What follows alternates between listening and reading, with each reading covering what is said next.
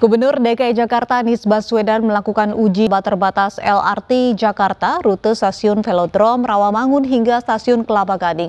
Anies mengecek kesiapan LRT yang telah diuji coba sejak 21 Agustus lalu.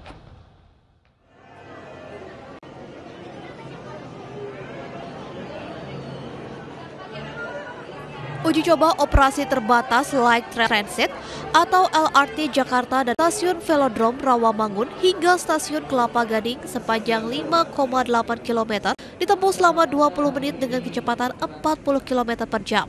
Uji coba terbatas ini berlangsung selama satu bulan dimulai sejak 21 Agustus hingga 20 September mendatang. Gubernur DKI Jakarta Anies Baswedan memantau langsung uji coba terbatas ini. Terdapat beberapa catatan yang nantinya akan menjadi bahan evaluasi.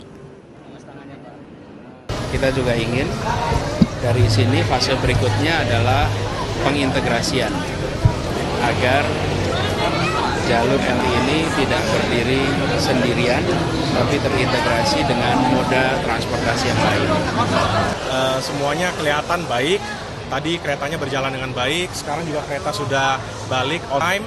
Semuanya itu berdasarkan uh, jadwal yang sudah disusun dan pemberangkatan dan ketibaan kereta semuanya on schedule. Penumpang pun mengaku nyaman selama perjalanan. Terutama bagi penumpang disabilitas, fasilitas LRT sudah cukup memadai meski masih ada beberapa kekurangan yang harus dibenahi. Menurut saya sih nyaman banget. Uh, kayaknya perjalanannya juga uh, bagus dan nyaman. Tadi tuh sempat uh, berhenti ya, AC-nya juga mati. Tapi itu nggak berlangsung lama sih, mungkin karena masih uji coba aja ya. Pertama bagus ya, kedua saya pasti bangga. Karena ya bisa dibilang kan setelah KRL, maksudnya udah crowded, sekarang kita punya salah satu mode transportasi baru, pilihan lah. Uh, kalau tadi sih saya lihat uh, tempat duduk itu kan tulisannya hanya khusus yang uh, difabel atau orang tua gitu ya. Itu kalau bisa sih warnanya dibedain gitu. Itu aja sih supaya ketahuan yang mana kita boleh duduk atau enggak. Kalau kita sih tadi memang nyobainnya berdiri sih.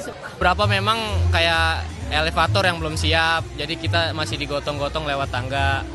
Jadi kayak jarak di kereta dan dan lantai di jaraknya itu masih berjarak antara kereta dan lantainya apa sih bahasanya kalau itu nih uh, masih ada beberapa yang perlu dievaluasi apalagi khususnya untuk pengguna kursi roda atau disabilitas lainnya. LRT Jakarta ini diharapkan dapat menjadi solusi moda transportasi baru masyarakat Jakarta.